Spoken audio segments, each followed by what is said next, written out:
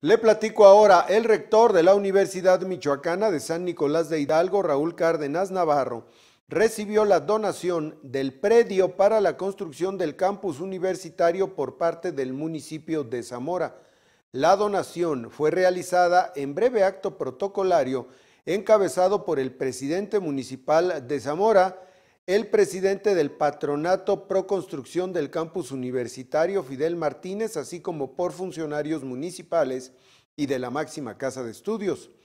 Durante su intervención, el rector Nicolaita manifestó que la expectativa de la Universidad Michoacana es crecer y acercar los servicios educativos a todo el pueblo de Michoacán. Actualmente, agregó, la institución recibe a estudiantes provenientes de la mayoría de estados de la República y de todos los municipios de la entidad. Hay una demanda muy importante de los servicios educativos, es una obligación de la Universidad Michoacana tal y como lo marca su ley orgánica, acercarlos a la comunidad.